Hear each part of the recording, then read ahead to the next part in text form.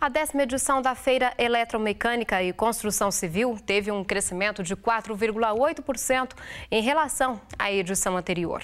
O evento foi realizado no mês passado em Londrina. A feira movimentou mais de 27 milhões de reais entre negócios gerados por expositores, linhas de crédito da Caixa Econômica Federal, mídias, fornecedores, prestadores de serviços, transportes e rodadas de negócios.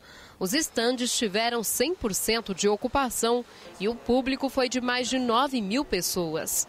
As visitas dos internautas ao site do evento também cresceram 23,52% em relação a 2013. E o número de inscrições para o sexto prêmio Caixa de Inovação triplicou.